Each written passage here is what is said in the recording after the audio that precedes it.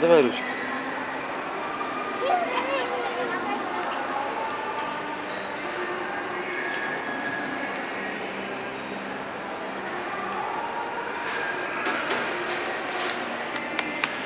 Ой!